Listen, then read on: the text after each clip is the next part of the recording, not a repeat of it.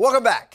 I'm Kevin John, and I have no idea what happened to the Warriors tonight. To be honest, I was actually out working on a story this evening, came back to the station, turned on the game, and was convinced that the score was a typo.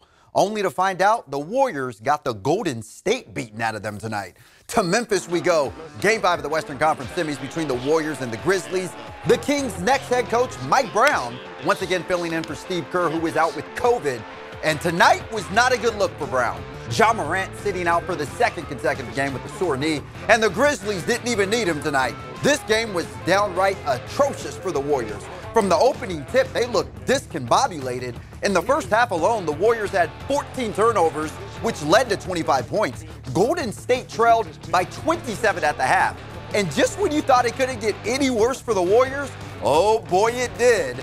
Golden State was outscored 42 to 17 in the third quarter. At one point, the Warriors trailed by 55 points. Grizzlies go on to smash Golden State 134 to 95. That's their fifth worst playoff loss in franchise history. Game six will be Friday night in San Francisco.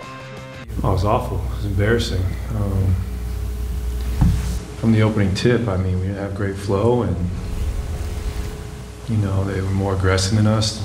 It's it's one game we know they're a good team. They got their backs against the wall. They're going to come out and fight and scrap. Well, they came out and fought all right. Baseball now. The San